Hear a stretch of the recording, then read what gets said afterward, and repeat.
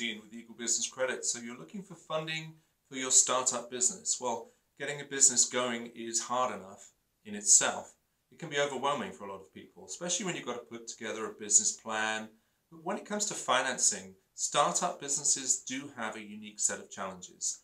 Often banks, it's not an option unless you have some serious collateral of a personal nature to put down. They're not going to fund your business because they need a track record, they need a balance sheet to get going. Uh, so friends and family, they may be able to help you with equity. Uh, maybe you've got an investor, an angel investor that can come in and help you to get some equity to get going. But how much of your company do you need to give up in order to do that? You want to keep ownership, right? This thing is going to grow and pay dividends for you down the road. So I would be cautious to give up equity too early when there are other options. Factoring is a great one. Online loans can be another one.